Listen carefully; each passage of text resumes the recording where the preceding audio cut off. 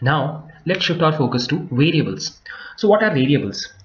Uh, variables in programming are uh, these uh, little things where users inputs are stored. Let's take a simple scenario. Suppose you want to display the name of the user and the age of the user but you don't know the name and the age of the user because the user hasn't provided it yet so the user will provide it at the time of uh, execution of the program right? But as a programmer you have written the code in the past. So how will your code adapt to the future changes? So for that you create or rather uh, at the point of runtime you demand some memory allocation in the RAM in which you store inputs given by the user. This particular memory allocation is called variables okay? So now uh, you must have done a little bit of programming using variables in other languages. Let's see how to use a variable in PHP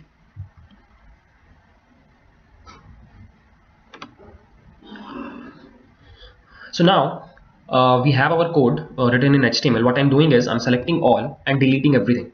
Now again I'm writing the PHP tag and closing it.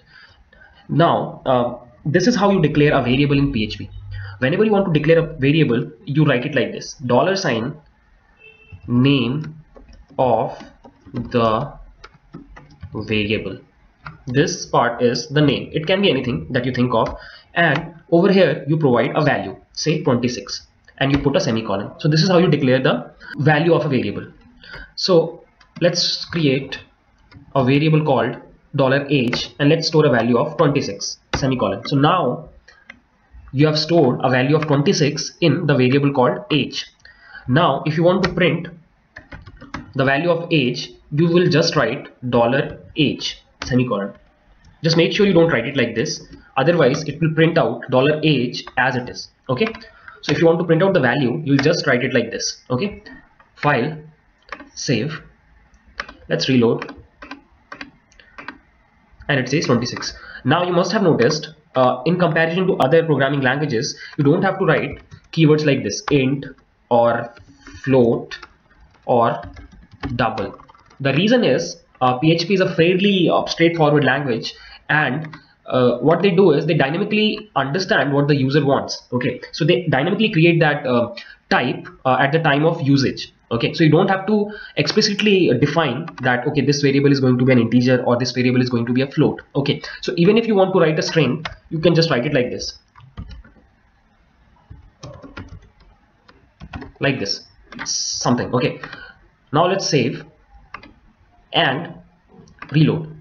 And as you can see it still printed the value. Okay. So you can also write 23.34 and still it will work. Save. Reload.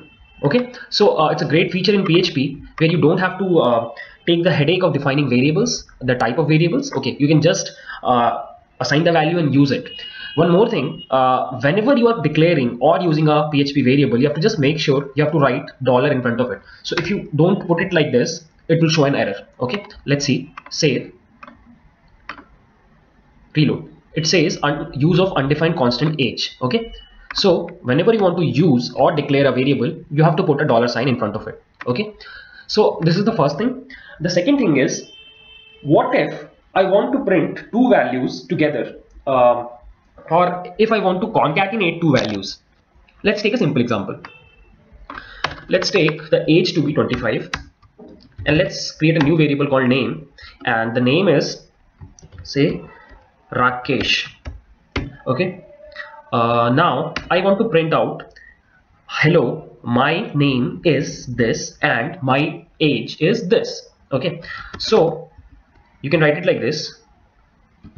Hello my name is now over here you want to print the value of this variable. But how would you write it with a string the answer is you will take a space and you will concatenate the string to the variable. So concatenation is basically uh, attaching two things together. So now if you want to attach two things or join two things in PHP, you use an operator called dot or concatenation operator. Okay, over here you will write dollar name. So it will read it like this. Hello, my name is the value of dollar name Rakesh dot space and my age is again a space dot dollar age and semicolon. Now if you want to read it you will be easily able to read it okay? Hello my name is dollar name's value is rakesh so it will uh, print out hello my name is rakesh and my age is uh, whatever stored in the age uh, that is 25 now you can see there are four blocks. The first is a string the second is the value of this variable the third is this string and the fourth is this thing. So these four uh, parts are joined by three concatenation operators.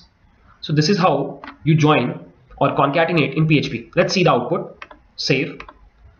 Reload. Hello my name is Rakesh and my age is 25 okay